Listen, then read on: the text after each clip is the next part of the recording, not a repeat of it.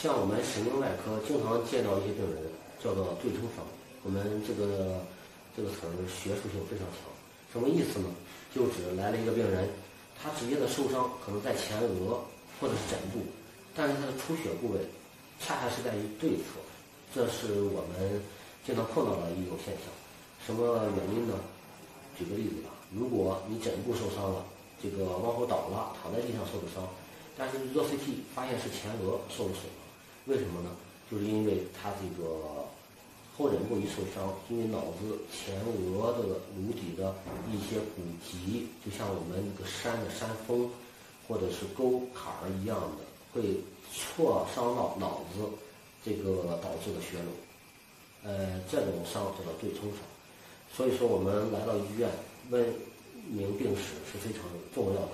很多时候，如果在在这个前额受伤了，可能在枕部，呃，就会出现一个大的血肿，这呃，这都是非常需要注意的。做 CT 检查一定不能忽视对侧的这个受伤的这个情况。